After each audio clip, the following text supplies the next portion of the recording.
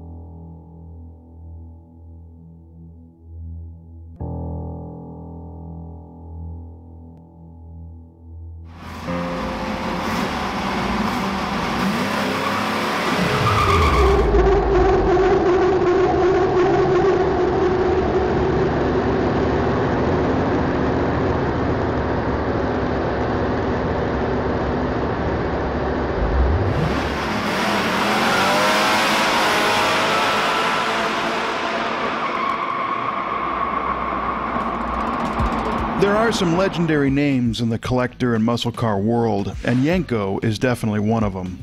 Don Yenko owned the Chevrolet dealership in Canonsburg, Pennsylvania, and he was able to exert his personal influence inside General Motors to get Chevrolet to build cars that maybe they never intended to.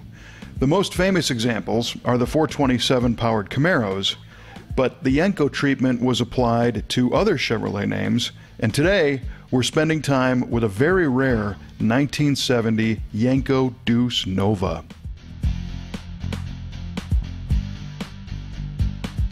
There are lots of things to consider when looking at this car.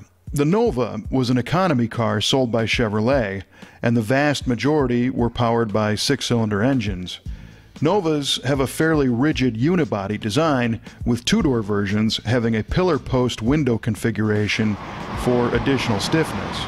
The goal was to build a lightweight, inexpensive economy car to attract entry level Chevrolet buyers. But here's where the story gets interesting. By 1970, insurance companies were charging lofty premiums to insure big engine muscle cars which was scaring off potential buyers at Chevrolet dealerships. So, Yenko was seeking an opportunity to sell a high performance car that could kind of slip under the radar of the insurance companies. After all, a Nova was an economy car. But a Nova was also a great platform for a high performance car. In addition to the rigid unibody, Novas shared suspension components with Camaros, so high performance brakes and suspension parts were already available from Chevrolet. And you could already buy a factory installed small block V8 in a Nova, so it wouldn't take much engineering to hop one up. And that is exactly what Don Yenko did. The story behind the Yenko Deuce is that by 1970, muscle cars were being penalized with exorbitantly high insurance premiums.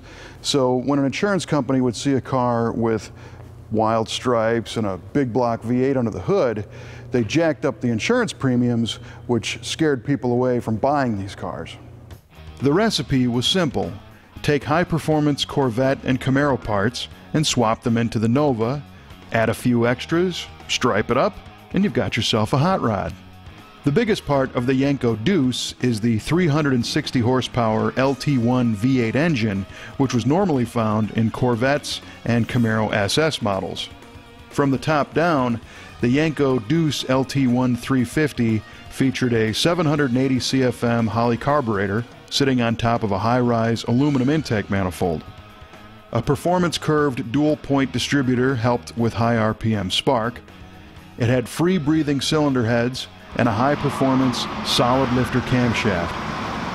The bottom half of the engine featured 11 to 1 compression pistons and special connecting rods identified on the assembly line by a dab of pink paint. The forged crankshaft was held in place by 4 bolt main caps rather than the 2 bolts found on regular passenger car engines. And that engine is known as the Copo 9010 package when ordered through Chevrolet's central office. But a Yenko Deuce is far more than just a high performance engine.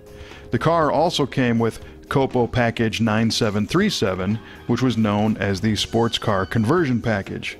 This was similar to what you could get on a Yenko or Copo Camaro, and it offered suspension and driveline upgrades to match the high performance engine. It started with an oversized front sway bar and added a rear sway bar, tuned springs and shocks, and oversized E70 14 inch tires. It also added the Muncie M21 close ratio 4 speed manual transmission and a high performance 12 bolt rear end loaded with 410 rear gears and a Positraction differential. And if that wasn't enough, the Yenko Deuce package added additional performance items like power front disc brakes, a Hurst shifter, and dual exhaust. Yenko also added SS wheels with Yenko badge center caps, a hood tachometer, an AM radio, and special Yenko striping and badges to add some visual appeal to the otherwise basic Nova design. There's no doubt that the Yenko Deuce is a very cool car in general, and this specific one is one of the best examples left in existence. One of the neatest things about this particular car is that its history is very well known. In fact, the original owners took this car racing right after they bought it.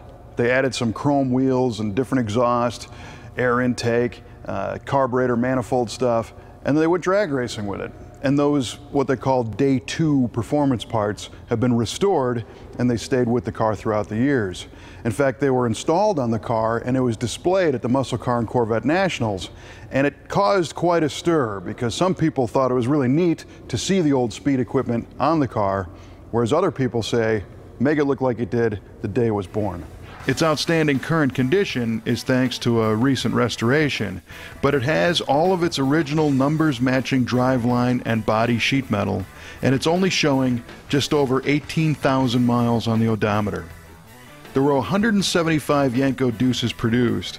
75 are believed to exist today, with 17 of those painted in Fathom Blue, like this one.